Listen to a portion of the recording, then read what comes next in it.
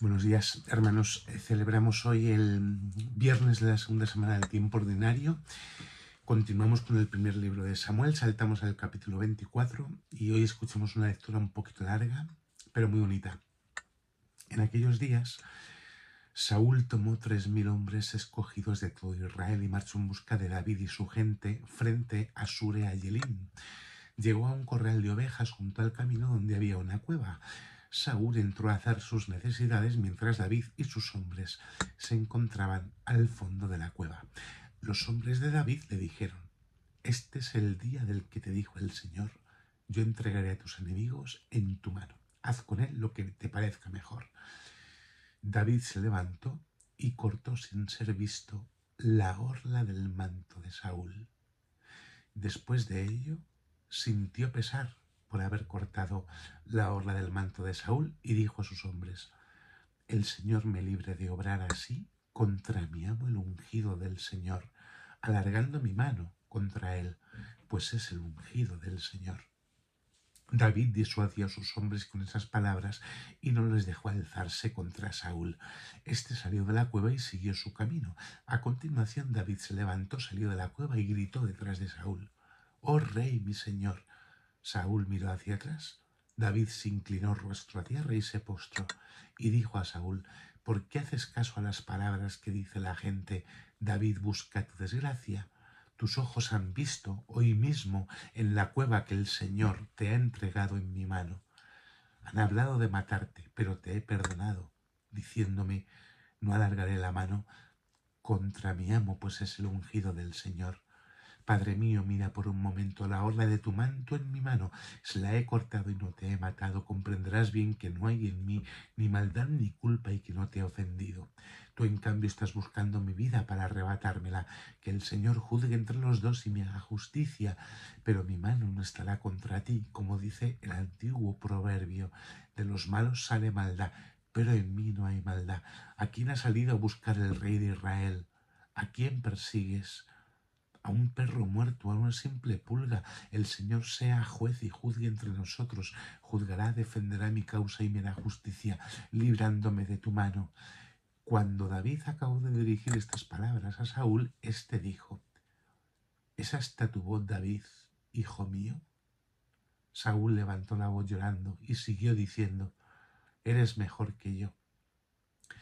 Pues tú me tratas bien mientras que yo te trato mal.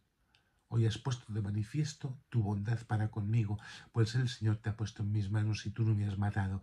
Si uno encuentra a su enemigo, le deja seguir por las buenas el camino. Que el Señor te recompense el favor que hoy me has hecho.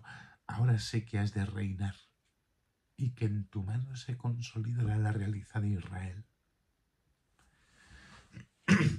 Fijaos qué apasionante la lectura.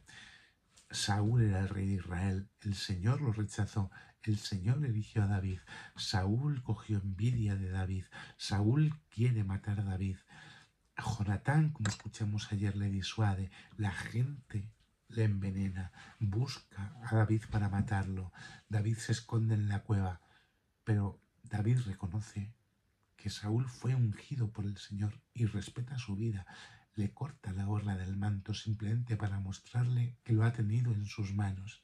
Bueno, la escena es sobrecogedora. No extenderle la mano contra él porque es el ungido del Señor.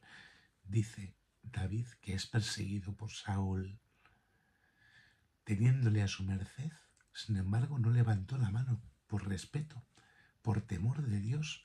No, no decidió acudir a la venganza por eso, fijaos qué bonito que al final Saúl reconoce que David es el que verdaderamente ha de reinar.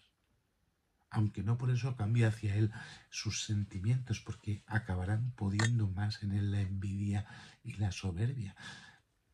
El perdón otorgado por David a su mayor enemigo es el ejemplo perfecto. Se pudo vengar y no lo hizo, guardado del mal por temor de Dios. Esto es lo que nosotros como cristianos tenemos que aprender a vivir. En ese gesto es donde Saúl reconoce la grandeza de David. Ahora sé que has de reinar, que el Señor te lo recompense.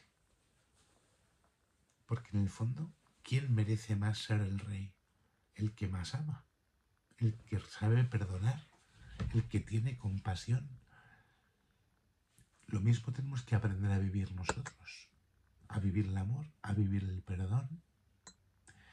San León Magno exhorta al perdón. Acordándonos de nuestras debilidades, dice que nos han hecho caer en toda clase de faltas. ¿eh? Guardémonos de descuidar este remedio primordial del perdón. Perdonemos para que se nos perdone. Concedamos la gracia que nosotros pedimos. No busquemos la venganza, ya que nosotros mismos suplicamos a Dios que perdone nuestras faltas y pecados. No nos hagamos el sordo a los gemidos de quien nos necesita. Que Dios os bendiga, hermanos, en el nombre del Padre, del Hijo y del Espíritu Santo. Amén.